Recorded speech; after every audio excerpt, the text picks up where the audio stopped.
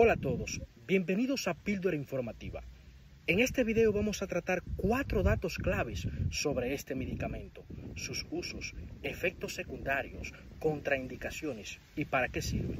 Asegúrate de ver este video hasta el final para no perderte ningún dato importante sobre este medicamento. Alever es un medicamento que se utiliza para tratar diversos tipos de vértigo y náuseas. Su fórmula combina dos sustancias activas, sinaricina y dimenhidrinato, que trabajan en sinergia para aliviar los síntomas asociados con estos trastornos. ¿Cómo funciona Arlever? Sinaricina. Esta sustancia pertenece a un grupo de medicamentos llamados antagonistas del calcio. Actúa relajando los vasos sanguíneos, especialmente los del cerebro, mejorando la circulación y reduciendo los mareos y los vértigos. Además, tiene propiedades antihistamínicas que ayudan a controlar las náuseas. Dimenhidrinato es un antihistamínico que bloquea la acción de la histamina, una sustancia que puede causar náuseas, vómitos y mareos. Al bloquear la histamina, el dimenhidrinato ayuda a controlar estos síntomas.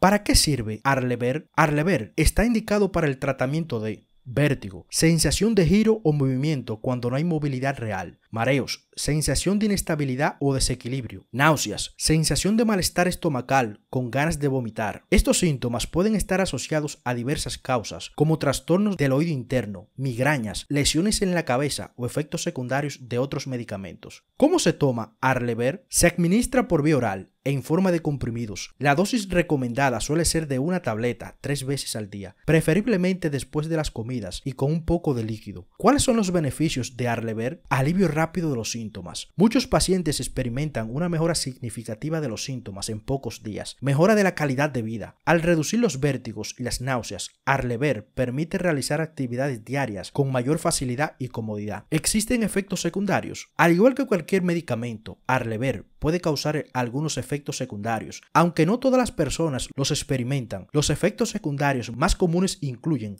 somnolencia, sequedad de boca, mareos, visión borrosa, estreñimiento, dolor de cabeza, fatiga. Estos efectos secundarios suelen ser leves y desaparecen al interrumpir el medicamento. ¿Qué precauciones debo tomar al tomar Arlever? Embarazo y lactancia. No se recomienda el uso de Arlever durante el embarazo y la lactancia. Conducción y manejo de maquinaria. Arlever puede causar somnolencia, por lo que se debe tener precaución al conducir o realizar actividades que requieran atención. Interacción con otros medicamentos. Informe a su médico sobre todos los medicamentos que esté tomando, ya que Arlever puede interactuar con otros fármacos.